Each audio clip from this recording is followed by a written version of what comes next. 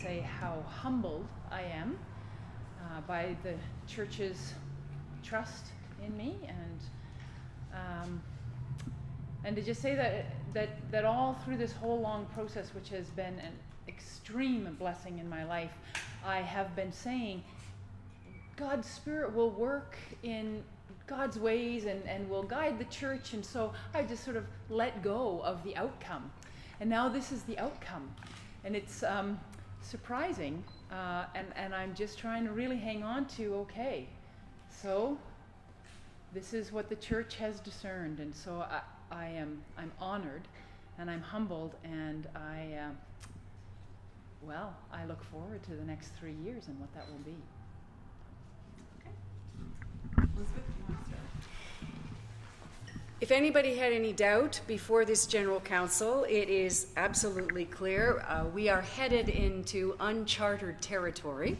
And on the one hand, there are many, many who are who are on the journey with tremendous hope and excitement and delight about new beginnings. And there are many, many, many on this journey who are struggling and in pain at the process of letting go.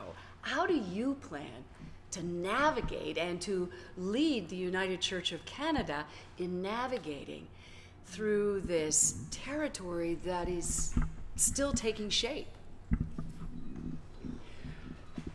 my understanding of ministry and my role as a minister is to accompany people, to sojourn with them. And so um, people, as you say, will be in all kinds of different places on the journey. Some will be in a, a time of lament, uh, some will be in a time of panic, some will be in a time of celebration and excitement.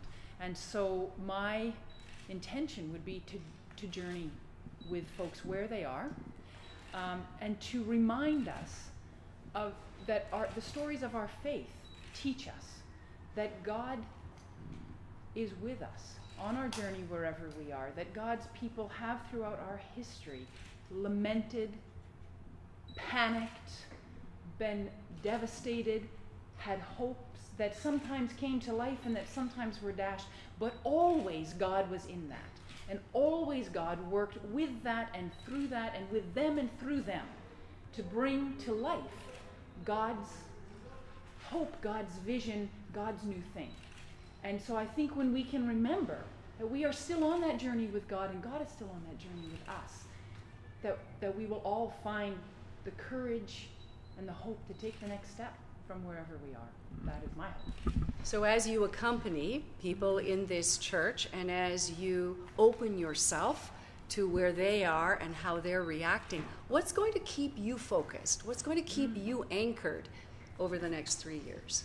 Thank you for that question because that has been for me um, one of the biggest gifts of this whole discernment time and, and this journey of getting to here um, is that I realized before I ever accepted the nomination that if that I that I needed to make sure that I was as spiritually grounded as I could be, and so um, I have I have committed myself to a practice of daily centering prayer and um, which has just sort of blossomed in me into something I never could have imagined, for which I am so grateful, uh, and and has has been what's kept me grounded through this whole process, and is a pro is is a a spiritual practice, which I know I will need and to which I am absolutely committed.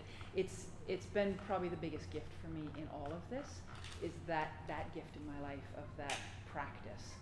Um, so that's that's a the main thing, and then this community of people holding me to account, reminding me what my best self looks like, and when they're not seeing it, and calling me back to it, I, I will rely on our community to accompany me and remind me um, what good ministry looks like.